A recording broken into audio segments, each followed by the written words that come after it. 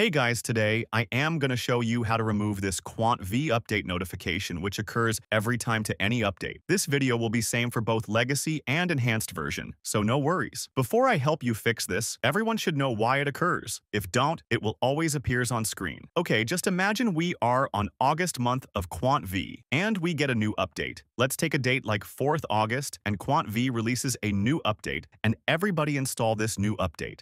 And after some days, Quant V releases another update on same month. Let's take 14th of August. So people who have installed the 4th of August Quant V will receive this Quant V update notification on their screen Quant V always drop two to three updates on single month mostly because of bug fixes. Like other modders who patch it up onto next month update, Quant V fixes it on same month to avoid more bugs. Now I will show you the easiest way to remove this Quant V update notification. Re-download the latest Quant V, open the file. Go on Part 2 folder, find Quant quantv.addon file. Now, from your GTA 5 directory, remove that file, and drag and drop this into your directory.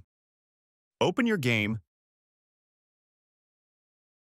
we are back into the game, and as you can see, the update notification is completely gone. You won't find that update bar anymore. If it appears again, then just follow these steps. It will help you fix it, so make sure you subscribe for more installation videos coming soon.